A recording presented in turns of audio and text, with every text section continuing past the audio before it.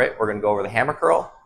So a hammer curl is a neutral grip bicep curl, elbow flexion, going up and down.